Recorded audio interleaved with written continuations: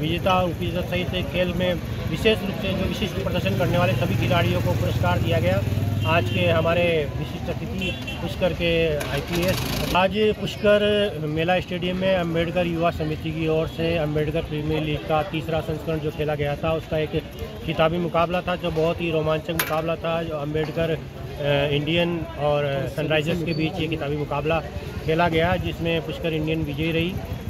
आयोजन समिति की ओर से सभी विजेता और उपविजेता सहित खेल में विशेष रूप से जो विशिष्ट प्रदर्शन करने वाले सभी खिलाड़ियों को पुरस्कार दिया गया।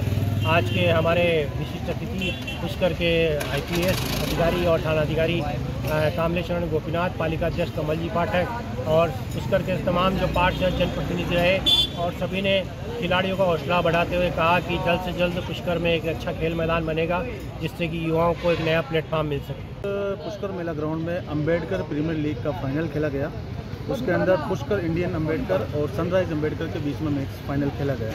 उसमें पुष्कर इंडियन ने पहले बल्लेबाजी करते हुए चौरानवे रन का स्कोर दिया और 87 रन पर सनराइज टीम ऑल आउट हो गई। वो रन चेस नहीं कर सकी और पुष्कर इंडियन विजेता रही। आपका नाम? मुकेश देवड़ा अंबेडकर सेवा समिति पुष्कर।